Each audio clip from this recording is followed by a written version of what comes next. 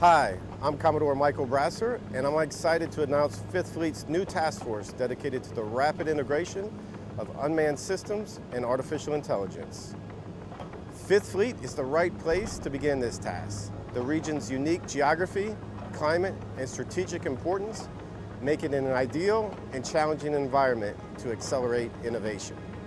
Task Force 59 has a team of world-class experts and experienced operators who will integrate cutting-edge technology to enhance maritime domain awareness, deter malign actors, and foster partnerships in new ways.